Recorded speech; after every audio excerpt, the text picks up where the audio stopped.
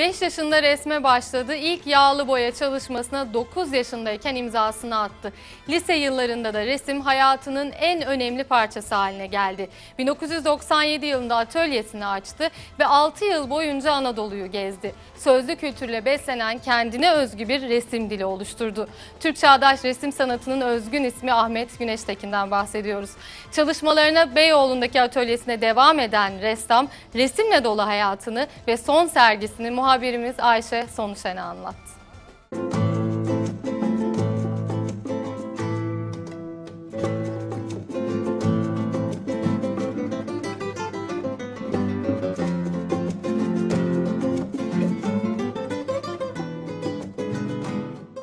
Çağdaş sanatın Türkiye'deki öncü isimlerinden Ahmet Güneştekin'in 2010 yılından bu yana Beyoğlu'nda hizmet veren atölyesindeyiz. Sanatçının sanat öyküsünü ve Anadolu söylencelerinden beslenen eserlerini konuşacağız. 1966 yılında Batman'da Garzan İşçi Kampı'nda dünyaya gelen Ahmet Güneştekin ilk ödülünü ilkokul 3. sınıfta aldı. Mimar Sinan Güzel Sanatlar Fakültesini yarıda bıraktıktan sonra İstanbul'un zorlu yaşam koşulları Güneştekin'i işletme alanına itti.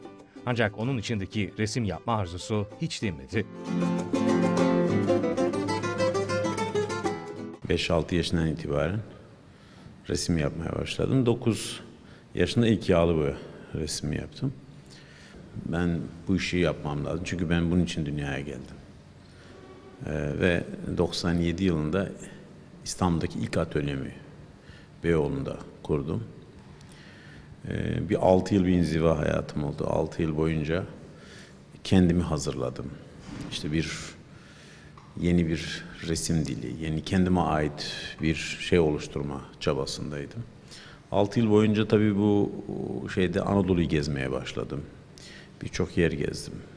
Ee, işte efsaneler, mitler, sözlü kültür bunların izini sürmeye başladım. Ahmet Güneştekin bir yıllık hazırlık aşamasının ardından bu kez Zülkarneyn sergisiyle çıktı sanatseverlerin karşısına.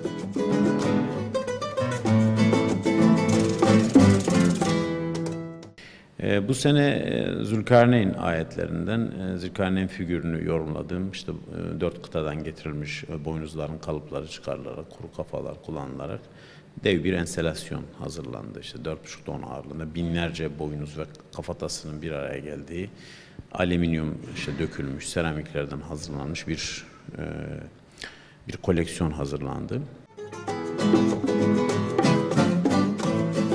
İlk kez Çağdaş Sanat Fuarı'nda sergilenen Zülkarneyn sergisi büyük ilgi gördü, uzun kuyruklar oluşturdu. mitler, efsaneler, hal söylenceleri, e, yani sözlü e, e, kültür benim sanatımın ana referansını oluşturuyor. Zaman zaman e, kutsal kitaplardan, zaman zaman e, yazılmış mitlerden, zaman zaman da söylenen destanlardan, türkülerden, işte şarkılardan, birçok şeyden e, hikayeler derlerim. Zülkarneyn e, Kur'an'da Kehf suresinde geçen ayetlerden oluşuyor. Aynı şekilde Tevrat'ta da geçiyor.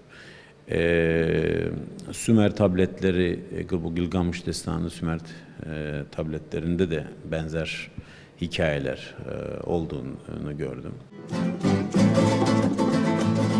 Çağdaş Sanat'ın usta ismi Ahmet Güneştekin, 2017'nin Ocak ayında New York'ta özel bir sergi ve Venedik Bienalinde sanatseverlerle buluşmak için kolları sıvadı.